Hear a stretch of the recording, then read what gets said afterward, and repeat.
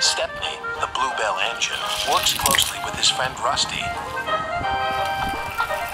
One day, Sir Topham Hatt came to see him. Rusty tells me you're in need of a change. So I want you to help Toby and Mavis in the quarry. Oh, thank you, sir, said Stepney. Shall I be away long? Just today. But please be careful. It is easy to get lost up there, so be back before dark. We will, said the driver. Stepney soon arrived at the quarry. We're glad you're here to help us, said Toby. Are these my cars? asked Stepney. Only some of them. There's masses more in the sidings, replied Mavis. The more the merrier. Stepney was really enjoying himself. The dustier he became, the harder he worked. Mavis and Toby were impressed. Foreman spoke to his driver. We have a night special to take to the building site at the new branch line. Do you want to pull the train? Yes, please, said the driver. But he should have asked Sir Topham Hatt first. Night came. Be careful, Stepney, advised Toby. I will, and thank you for a lovely day. I do hope I can come back again.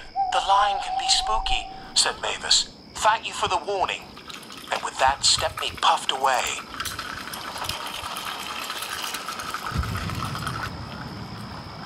Stepney arrived on time and made the delivery of rocks and stones for the workmen.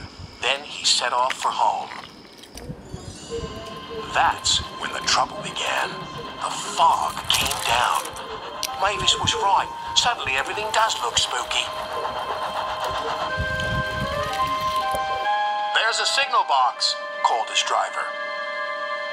And the signal light is green. Someone must have been expecting us. But they weren't.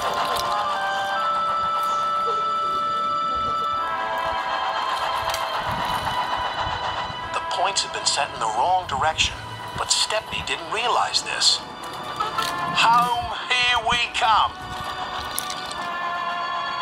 Then they approached an unknown area. The driver made a decision. It's best if we rest here until the fog clears. What are those strange sounds? wondered Stepney. Then the fog slowly lifted. In the scrap yards!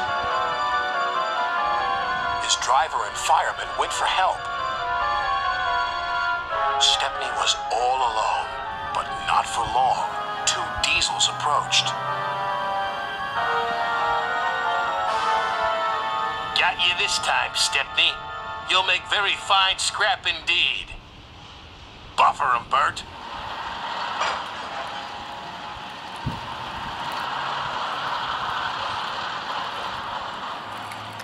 The diesels took him to the large smelter shed.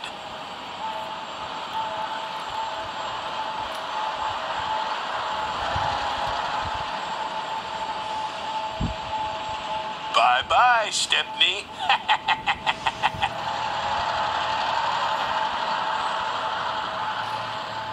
Stepney looked up. Above him was a huge grabber. This engine's not for scrapping. Grabber wasn't listening.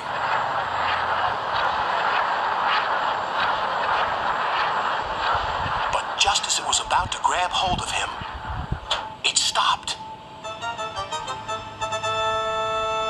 There stood Sir Topham Hatt.